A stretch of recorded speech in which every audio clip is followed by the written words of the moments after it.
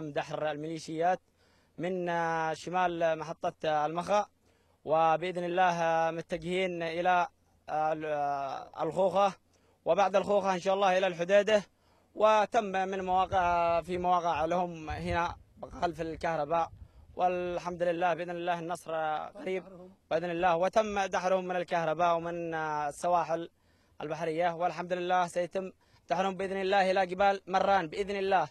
بإذن الله. وسلامي للشباب وربنا ينصرهم إن شاء الله بإذن الله. شكرا. السلام الله أكبر. النصر يا شباب. الله أكبر. أصبحت مسيطرة عليها بالكامل. هذا ال- هذه السور هو سور.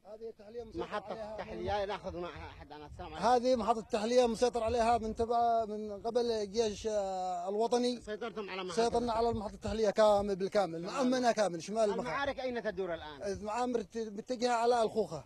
تدور بعد تلقى الخوخة. بالتحديد أين تتمركز القوات الجيش الوطني؟ تتمركز على مشارف آه، مدينة الخوخة أو منطقة الخوخة يسموها. مشارف مدينة الخوخة. كما سمعنا المعارك تدور الآن على مشارف مدينة الخوخة وهي بالتحديد في منطقة يخطل تبعد فقط بضع كيلومترات حتى تصل يصل الجيش الوطني مسنودا بالمقاومة إلى أول نقاط ميليشيا الحوثي وصالح في محافظة الحديدة أول شيء توصل لعدن الرسالة أهم شيء لا عدن ضروري أنا الحاج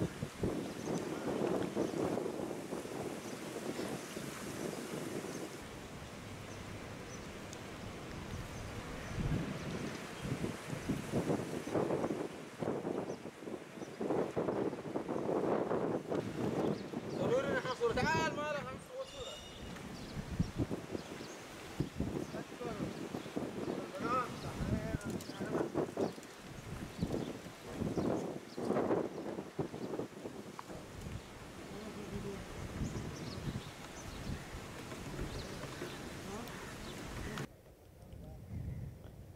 لك واحد حجار ها؟ لاعب قيم الامن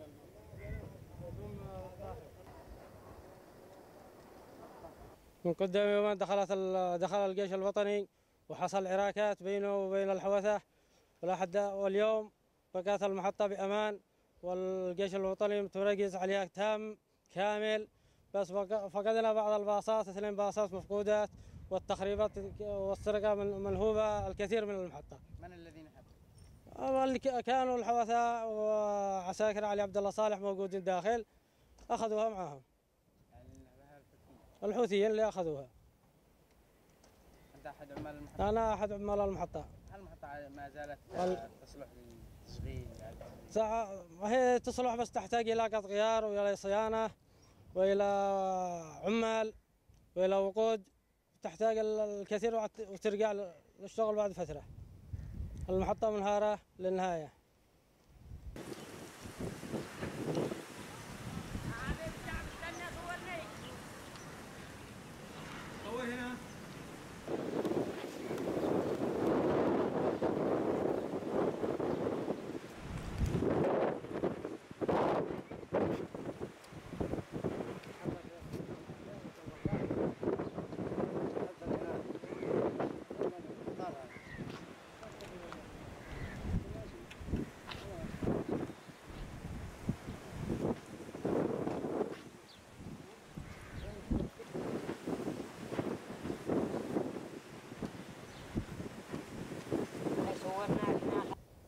الآن المحطة البخارية تحتاج إلى صيانة من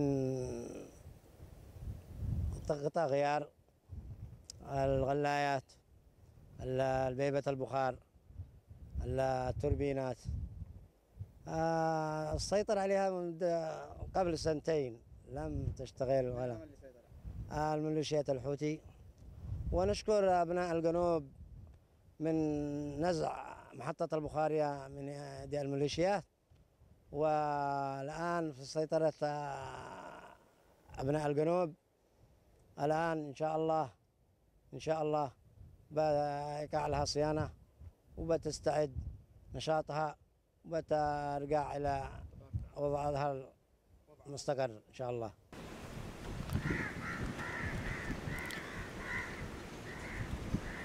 وهذه التحلية. وهذه وحدة الوقود الغلاية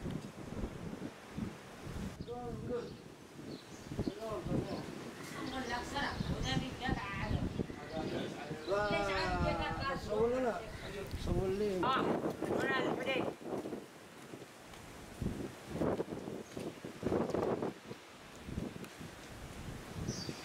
داخل. داخل تعال صور داخل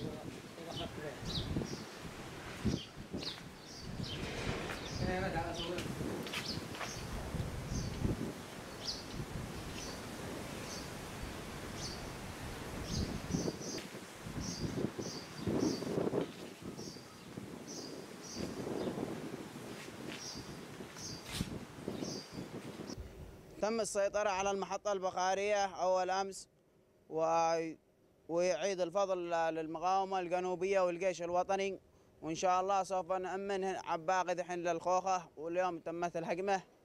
وبكلا الحالتين سوف ترجع الأمور على ما هي. وحتى لو كانوا الحوضة يعني يشلوا بعض السيمان من هنا نهبوها. وهم ميليشيات ع- صالح المخلوع. والحمد لله سوف سوف نتم ب- أحد مواطني المخا.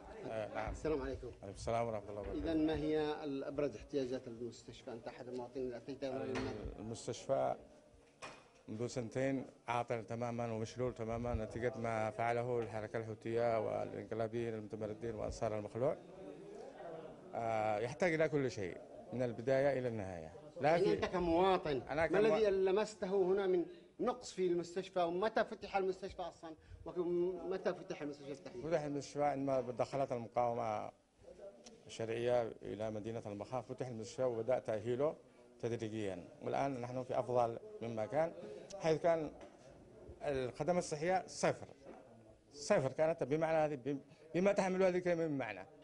حيث قضوا على كل شيء يستفيد منه الإنسان أو البشر في المستشفى وغير المستشفى والمؤسسات المدنية. وأماكن النفط وأماكن وسائل البحر ووسائل المعيشة الميناء المحجر البيطري المحطة البخاري قضوا على وسائل المعيشة بما فيه كل كلمة بل حتى يبتزون التاجر ويبتزون الصغير والكبير باسم المجهود الحربي. شكرا جزيلا نأخذ هنا أحد الأطباء. هنا في أنا السلام عليكم. طبيب طوارئ منصور. طبيب الطوارئ من؟ آه دكتور منصور محمد. إذا كيف الوضع؟ المستشفى؟ إحنا فريق طبي متكون من 12 من بين طبيبا وفني. أتينا إلى المستشفى بتاريخ 14 وصلنا للمستشفى مستشفى متهالك على أسطح التراب. ركام من التراب.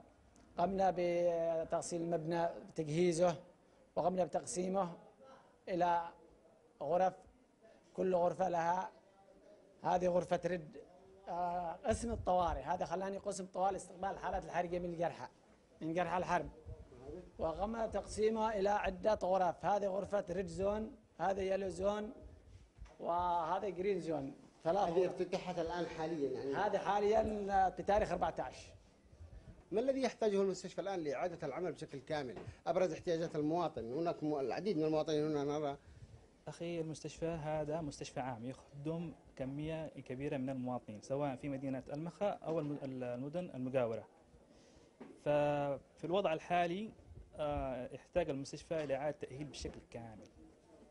فنحن في الوضع الحالي شغالين فقط كطوارئ وعيادات خارجية. الآن ال- الأبرز الأقسام الغير موجودة الآن مثلا قسم الأقسام المهمة التي يجب أن تفتح بشكل طارئ. مثل ما قلت لك أخي في الوقت الحالي ليس لدينا عدد كافي من الأطباء فقط لا أطباء. ثلاثة أطباء و12 يعني طاقم طبي متوزع ما بين المختبر والصيدلية والتمريض. هذا نحن الآن موجودين في المستشفى الوقت الحالي. يلا نمشي نمشي المستشفى فترتين. بالنسبة للأمراض ال- ال- الهدنة قسم غير موجود. ليس لدينا طب أطباء طبيب طبيبة نساء ولادة أو أطباء أطفال أو طبيب جراحة أو أطباء أسنان. ليس لدينا أي أطباء أخصائيين طبعا المستشفى ال- قائم على هذه على هذه التخصصات. بس آه، في اثناء فترة الحرب فأعتقد أن الأطباء كلهم غادروا المنطقة نزحوا إلى مناطق أخرى. طيب إقبال الأهالي هنا بعد افتتاح المستشفى. الإقبال كبير.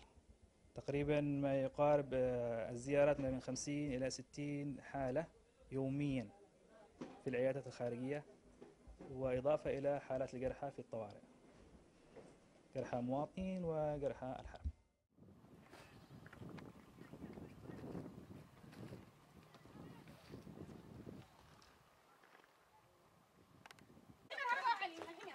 اللي ينشر لي هيدي ولي حمار كهرب كيدي يلا يا ماجد لا قد اخذنا وقد ودفعنا له القيد الثاني كهرب يا ما كفل أنا رصاصي امسك الحمار امسكني نعمل الدور هذا قوة فوق الدور مرحبا مرحبا مو خلق نفتحوا خلق نفتحوا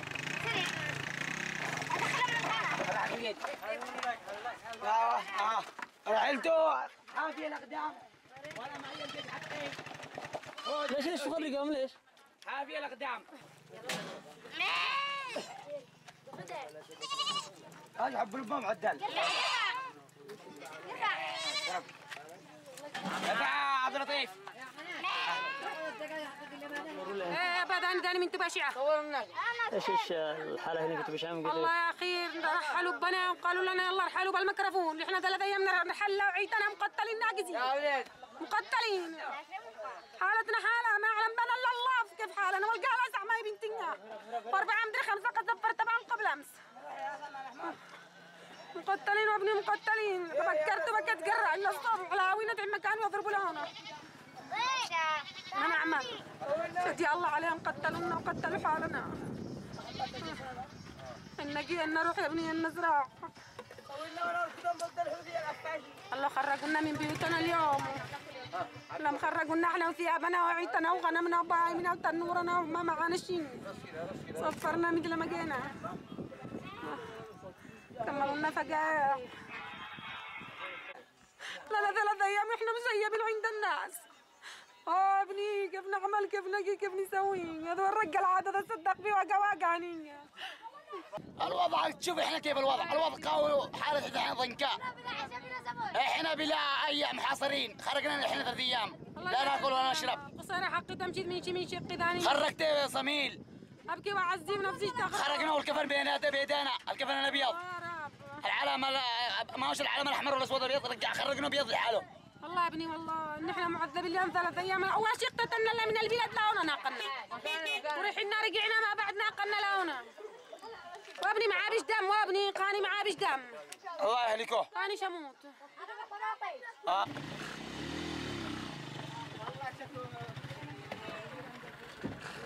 نخلي عند هذا لما- لما ترجعوا هذا لك خليه يشوف.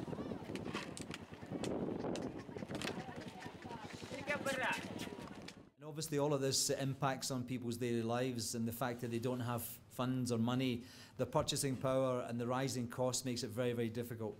وضعف قدرتهم الشرائية نتيجة لكل هذه العوامل إضافة إلى ارتفاع الأسعار والكلفة للحصول على تلك المتطلبات الأساسية يزيد من معاناة الناس كثيرا And from the humanitarian point of view and uh, from the commercial point of view, the fact that the Hodeida port is much limited now in terms of bringing material into the country, food, fuel, and medicines, this will make our job and make uh, the prices much more difficult for people to handle. من وجهة نظرنا في القطاع في قطاع العمل الإنساني ومن وجهة نظر القطاع التجاري أيضا فإن محدودية وصول السلع إلى ميناء الحديدة من سلع أساسية غذاء ووقود ودواء جميعها ستؤدي إلى صعوبة توفر تلك السلع في الأسواق وارتفاع أسعارها ما سيصعب حياة الناس The conflict in Yemen has no military solution, and we're expecting, we're hoping that the special envoy can encourage the parties to come back to the table and we can find an agreement that will benefit all Yemenis.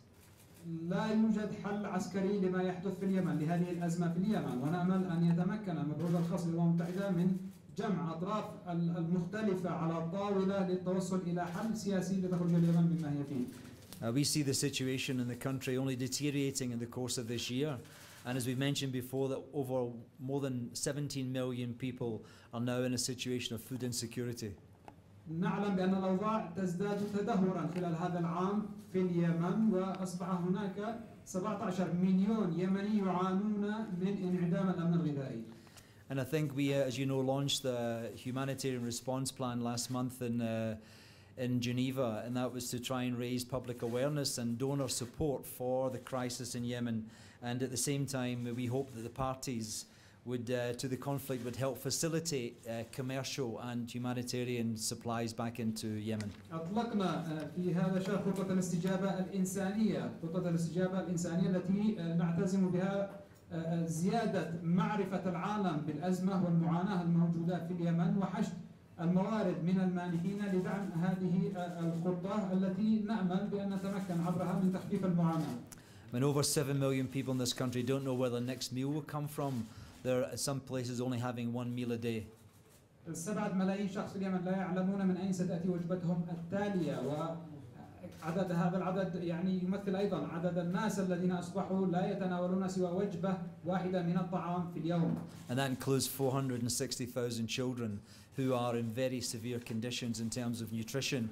And this will have a major impact on their development as individuals in the future. وهذا يشمل 460 ألف طفل أصبحوا يعانون من مشاكل تغذية صحية سليمة وهو الأمر الذي يتحتم علينا ال- ال- القيام بعمل لتغيير هذا هذا هذه المعاناة And even if there's a, a comprehensive peace agreement was signed tomorrow, the, the situation in terms of the humanitarian impact of this crisis will continue for many years to come.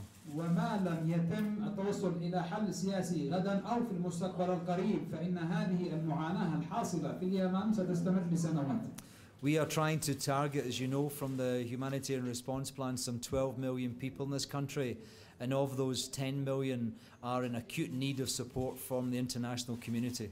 نحاول أن نستهدف 12 مليون شخص عبر خطة الاستجابة الإنسانية لليمن منهم عشرة ملايين يعانون من احتياج حاد جدا للمساعدات الإنسانية We uh, are appealing for $2.1 billion to address the needs of those people. And uh, we, we understand that uh, we hope that there will be a good response to the plan. And we are in good position to respond more than the 5.6 million of last year. لدينا آه، ن- نطلب أو نحتاج إلى 2.1 مليار دولار لتمويل خطة الاستجابة الإنسانية ونأمل أن يتلقى طلبنا هذا ومناداتنا هذه استجابة من المجتمع الدولي فلدينا القدرة على الاستجابة لعدد أكبر مما استجبنا له له بالعام الماضي الذي تجاوز 5 ملايين شخص Yeah, I think it's important that we realise that uh, uh, enough is enough. I mean, the people in this country have had enough for two years, and uh, there's only so much that a, a community, a family can endure, and people are coming to the end of their, their ability to sustain or continue to survive in this country. بلغ سيل الزباء في هذه المعاناة وعامين أصبح آه، يعني كثير جدا على أولئك الناس من المعاناة ومن الخسائر في هذا البلد آه، بلغت الأسر وبلغ الناس أقصى ما يستطيعون من التحمل وينبغي على هذه المعاناة. أن تنتهي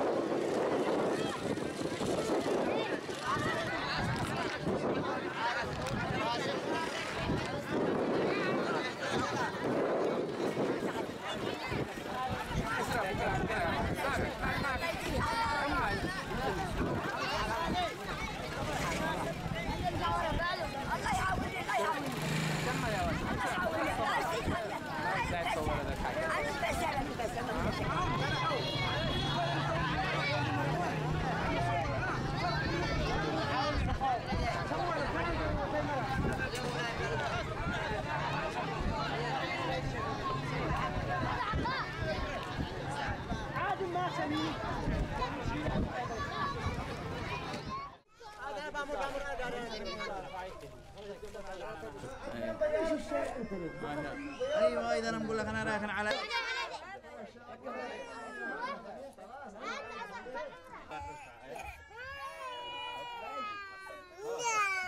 ثاني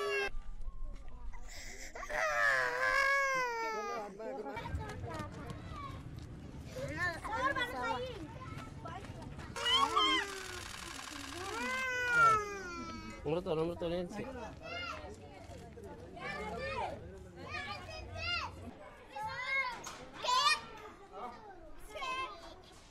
أيوه هذا هذا ماشي ماشي ماشي إحنا إحنا زاقين ده هيا إبراهيم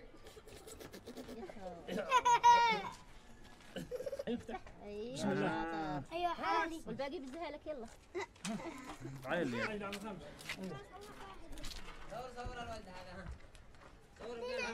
أي وصل الله ما عندنا. لا ما جي قاعية بطل. سريع الصورة سريع الصورة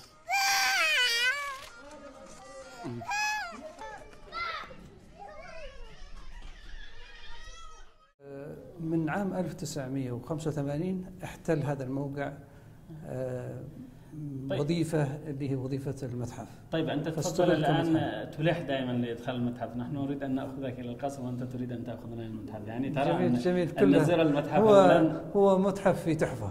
طيب إذا إذا تحفة معمارية. و... إذا لا مشكلة يعني. تفضل تفضل. ت- تفضل. تفضل تفضل. تفضل. أهلا وسهلا بكم. طيب هذا هو المتحف متحف آه، سيئون. هذا هو متحف سيئون. ونحن نحمل رسالة من خلال هذا المتحف. هذه رسالتنا الآية الكريمة. ال- المتحف وسيلة من وسائل التعارف بين الشعوب. فنحن من خلال هذه ال- الوظيفة